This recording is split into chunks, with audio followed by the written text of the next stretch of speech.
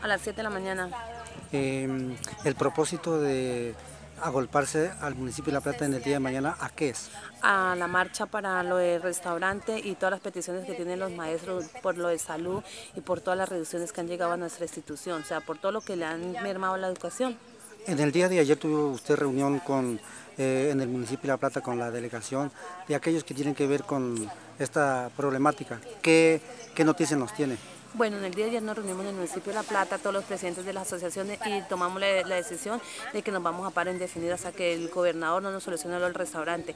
Así que entonces pues, queremos que todas las instituciones y demás municipios, no solamente el municipio de La Plata, sino todos los otros municipios cercanos al nuestro, se unan a eso porque es por todo, no solamente por el municipio de La Plata. Entonces queremos que desde ya los otros municipios, Tesalia, la Argentina, Paicol, Nátaga, mejor dicho, todos los municipios que se unan a esta, a esta causa que es por todos nuestros hijos.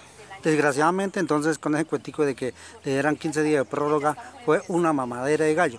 O fue un pañito de agua tibia en la cual nosotros nos dejamos convencer y por eso tomamos la decisión de que listo, 15 días, pero no, ya ahorita si no nos vamos a dejar convencer, nos dan hechos o si no seguimos, así nos tengamos que durar uno, dos o tres meses en paro, seguimos.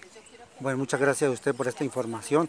Yo sé que toda la gente queda satisfecho de saber que esto se sigue y esto va en serio. Sí, claro, Rafael, lo importante es que, miren, mañana, por favor, todos los papás vamos a La Plata a apoyar eso. Es que no solamente es de, de la Asociación de Padres de Villalobos, es de todos los papás. Entonces, mañana a las 7 la salida aquí a La Plata y a las 8 empieza la marcha desde, desde el hospital hacia el centro. Entonces, podemos llevar a nuestros hijos, podemos llevarlos a los chicos de décimo y once para ir a esta marcha. Muchas gracias, Dora. Con mucho gusto, don Rafael.